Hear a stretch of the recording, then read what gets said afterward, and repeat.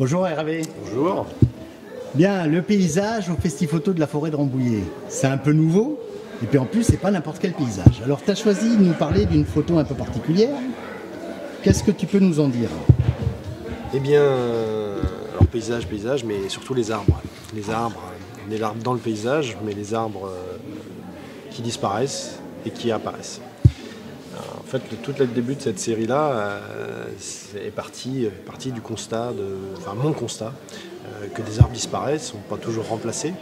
Les arbres traités d'une façon spécifique quand même, le noir et blanc. Alors pourquoi ce choix de noir et blanc? Tout à fait, le noir et blanc euh, par le graphisme.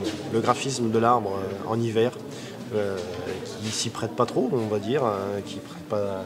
Mais justement, tout, le- tout le graphisme apparaît à ce moment-là, toute cette ramification, toute cette. euh, Oui, parce que sur histoire. cette photo, par exemple, c'est du givre, c'est ça? Alors, sur cette photo, c'est ni du givre, ni de la brume, ni quoi que ce soit, c'est simplement deux photos l'une sur l'autre. Ah, d'accord. Donc c'est le procédé tout simple euh, que l'on faisait déjà en argentique. Là je le fais en numérique, mais on le faisait déjà en argentique, qui est de prendre deux photos l'une sur l'autre. Et l'appareil assemble les deux Et ou le- c'est en post-traitement Alors c'est en post-traitement, on- il y a des appareils euh, qui le font euh, à la prise de vue. Euh, là, c'était tout, tout l'écho à, cette, la- l'apparition, disparition des arbres, aussi par ce procédé. Donc il faut protéger les animaux, mais sans arbres, les animaux. Mais sans arbres, sans végétaux, on n'aurait pas de terre et Eh on n'aurait pas toute la chaîne, euh, la chaîne Bon. de la vie. Voilà, commence par les arbres. Pour- Très bien Hervé. Écoute, euh, les gens peuvent venir te voir à la Bergerie nationale, à la grange à côté du pigeonnier. Oui.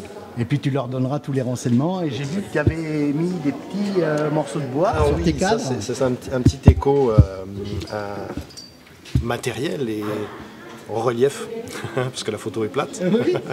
Mais c'est les petits morceaux de bois que je trouve en forêt et qui sont quasiment noirs comme ça. C'est un champignon qui les fige. Ah oui. Euh, et voilà. Donc c'était un, un petit écho, un hommage Un petit à ces arbres.